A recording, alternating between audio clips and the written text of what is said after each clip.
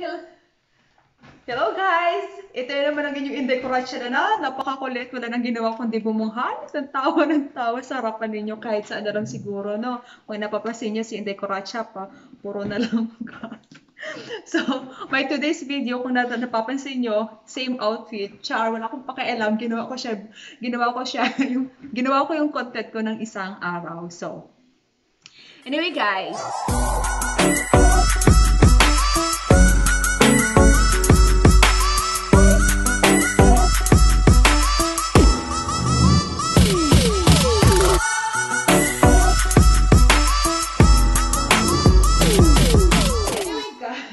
so, so. Anyway, guys, ang dami mong kaka-eso, so, no? Uh, gagawa ako ng banana and apple smoothie. yung magpapasmooth, magpapasmooth, smooth si Inte Coracha. Just a wait, just a minute. Wow, my lipstick. Okay lang ba yung lipstick ko, guys? So, ito yung mga ingredients ko. I have one piece of banana and one piece of apple. And of course, I have the honey.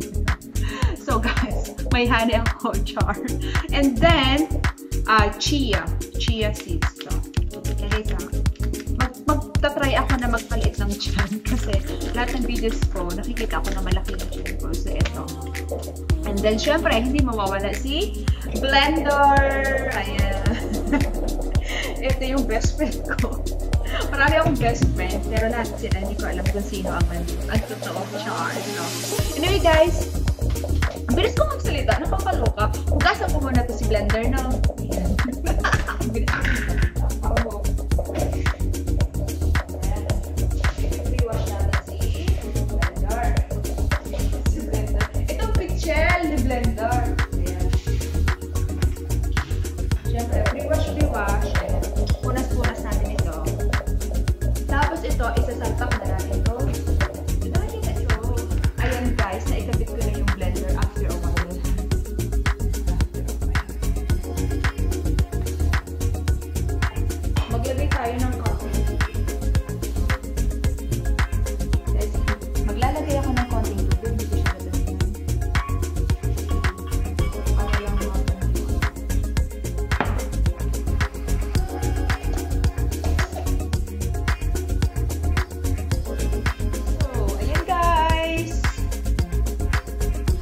Yung aking